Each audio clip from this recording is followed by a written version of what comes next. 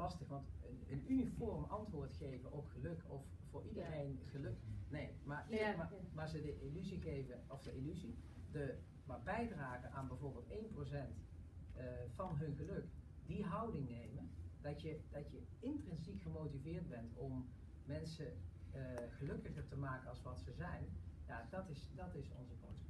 Dan zou ik vlug eindigen. Maar gelukkig een coach. eh we hebben twee coaches aan, aangesteld.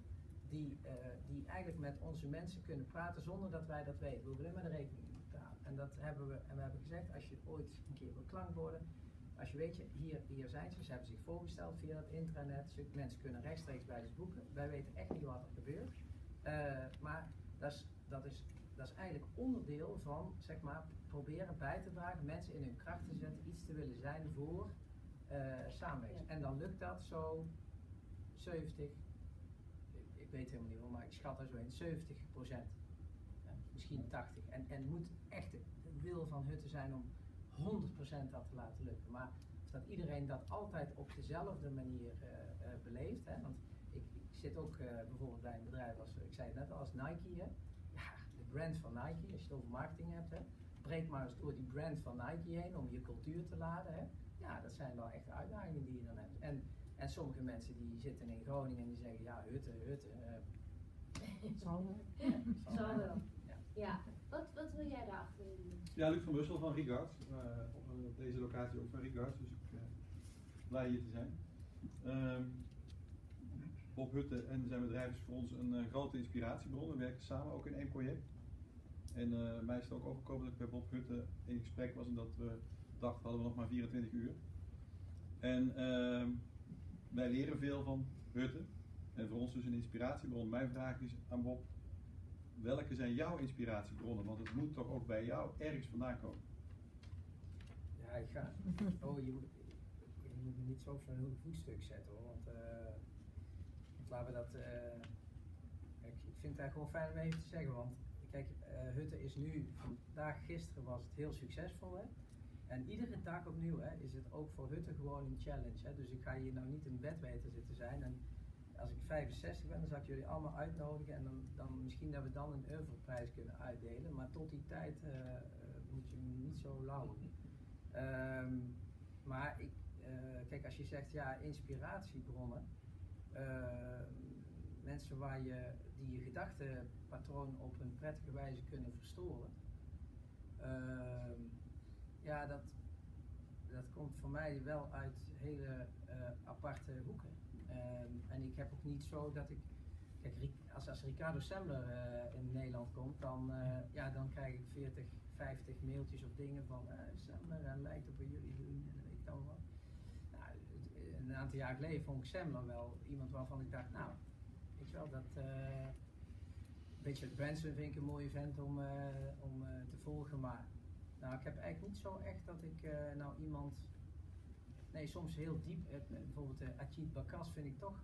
Dat hij, ik dacht eerst marketing, hè, maar hij is toch wel in staat om heel veel, heel veel trends en ontwikkelingen te laden in een korte tijd. Dat vind ik lekker. Want dan hoef ik niet heel de wereld zelf bij te houden, dan houdt hij ook een stuk van mij bij. Weet je wel? Dat vind ik wel. eh, Mhm. en ik heb heel veel inspiratie aan mijn eigen mensen, die, eh, die eh, heel veel ruimte, vind ik, moeten pakken om zich te laten inspireren. En die zijn veel handiger in.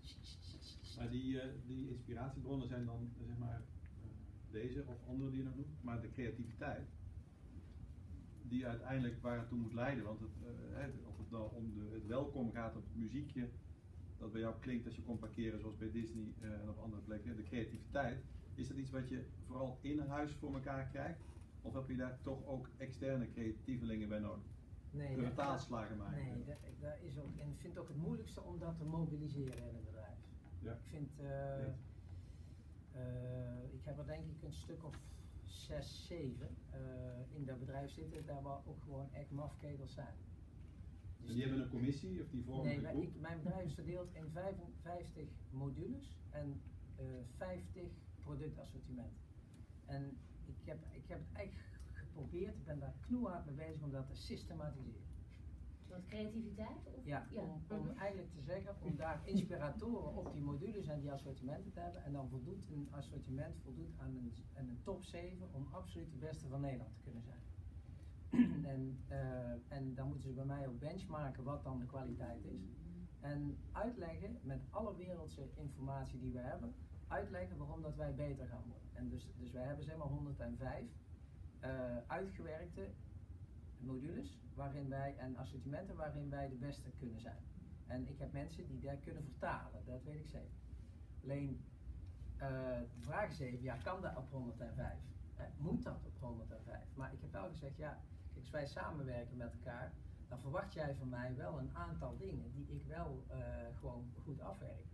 En ik geloof erin dat wij continu net iets meer moeten doen dan wat jij ons voor, aan mij eh, vraagt. En, want ik, ik garandeer je niet dat ik geen fout maak. Ja, ik wil het wel.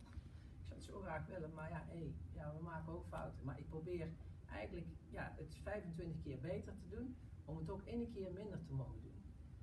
Zo is eigenlijk eh, zo is het een beetje opgebouwd. En dan, en dan de ene module lukt dan beter dan de andere. En, en, en mijn, best, mijn meest creatieve mensen, die bestieren die modules. Ik heb conceptmensen, ik, heb eh, culinair creatieven. Eh, gewoon echt en mensen die ook gewoon ja, door Londen trekken of naar Amerika gaan. Of die gewoon echt daar proberen om zich vol te laten. En niet, niet zomaar even om naar een restaurantje te gaan, want dat kan ik zelf wel. Ja. En, en kijk, je bent toch